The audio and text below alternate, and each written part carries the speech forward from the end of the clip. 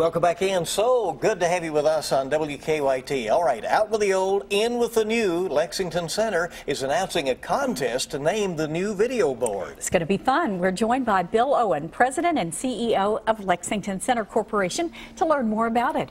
Welcome. Glad to have you in today. Quite spontaneously at the September board meeting, one of our board members suggested, well, in light of the fact that our sound system, Big Bertha, oh, Always had, a, name, had a right. name for 40 years. Yeah. We even gave her a retirement party.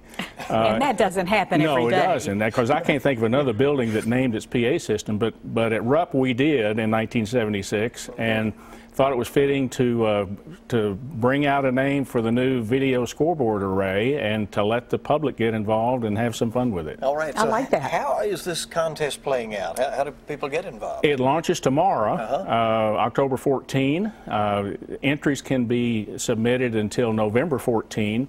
You can go on rupparena.com backslash name it or you can send it to Lexington Center Corporation, 430 West Vine Street, Lexington 40507. Be sure and mark on the envelope, uh, name it contest. And uh, we've got a committee of our board that will narrow it down on the 14th uh, to some uh, a smaller number of entries, and then uh, through social media outlets, uh, the winner will be selected by participants in social media.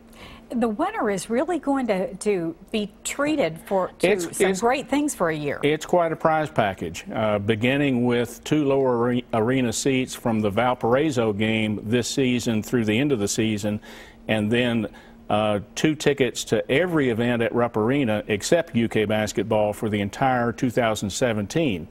Uh, you've also got uh, 40th anniversary commemorative jacket, a Rupp Arena logo jacket, and a uh, tour at a time to be arranged for up to 10 people of the University of Kentucky locker room. Oh, sounds like a, quite a prize package. All right, so, uh, you, you, know, Bertha was uh, always a, a, female name for the speaker. Is there any presumption uh, that this uh, speaker system well, is, a, is a man or a woman? or You know, doing some research, the original Ber Big Bertha yeah. was a German howitzer from World War II. Ah. So even, even a big cannon had a female name. I don't think there's any presumptuous uh, decision about what gender the name should be. okay. Now, if people are sitting back and they think, oh, you know, I just, I can't decide which one of these names I like the most, they can enter a couple of times, right? Oh, yes, yes. You can enter more than once. Um, and, and I'm sure we've already gotten some entries, uh, and I'm sure we'll get a broad array of ideas.